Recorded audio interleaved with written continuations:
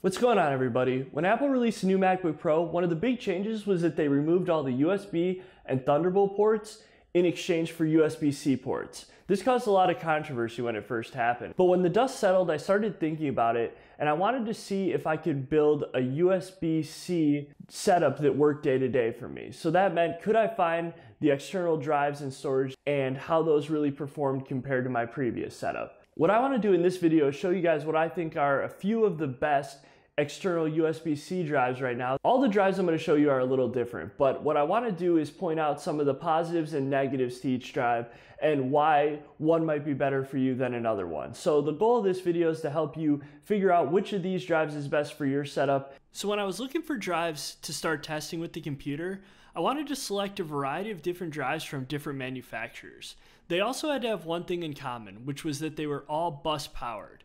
I thought it was important that all the drives were powered by USB-C and didn't require an external power adapter. I went with a G drive, a LaCie, a Samsung, and a Seagate drive. I thought this was a good representation of some of the bigger players in the market, and I thought all these drives brought something kind of unique and different to the table. The first drive I looked at was the G Drive Mobile. I believe this is an Apple Store exclusive. It has a 1 terabyte capacity, it's built with an aluminum case, it's a 7200 RPM drive, and I think it's just a good all around performer. So there's nothing too special about it. It matches well with the computer, the performance numbers for the drive were pretty solid.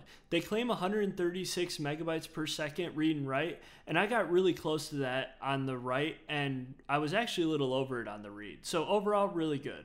The next drive I tested was the LaCie Rugged. This is a 4 terabyte drive that has an aluminum case. They also say that it's drop, crush, and water resistant. They have some specs that it can withstand being run over by like a one ton car. So it's supposed to be really durable, I think is the point. The performance of this drive was also really good. It's pretty much in line with the performance of the G drive. The specs list 130 megabytes per second as the read write, and I got really close to that with 125 and 125. So it's right in the ballpark. The next drive I tested was the Samsung T3 SSD. This is a solid state drive that comes in a variety of sizes from 250 gigabytes to 2 terabytes.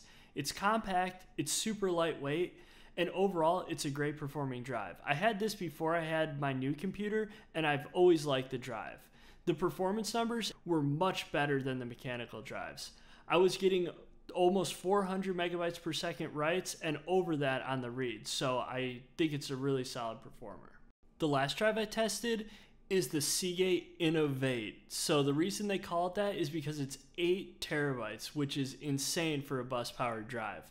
It's a little bit heavy at over 3 pounds, but it's an all aluminum enclosure and feels like it's super durable and well made. So I was really impressed with the quality of the drive. When it came to the performance, this drive was actually the fastest of all the mechanical drives, which is kind of to be expected because of its larger size but I was getting around 160 megabytes per second on both the read and the write. So the performance is really solid. So after looking at all the drives, using them for a while, and running some basic performance tests, here's the conclusions I came to.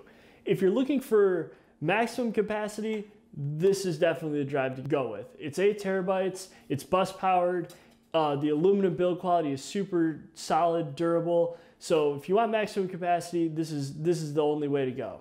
If you're looking for a little less capacity and a much smaller size and a lighter weight, then I would go with this. It's just all around a solid drive, so I think this is a good choice.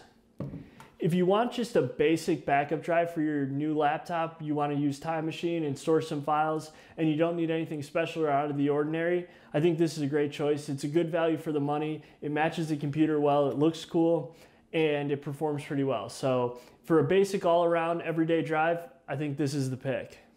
If you want to be able to edit directly off the drive and not have to move the files to your computer, or you need faster storage for whatever reason, then I think this is really by far the best choice. As you saw, the performance numbers are really good for an external drive. I hope you guys learned something from this video about which of these drives or which combination of these drives is best for your setup. I'll be putting out videos every week. As always, thanks for watching and see you next time.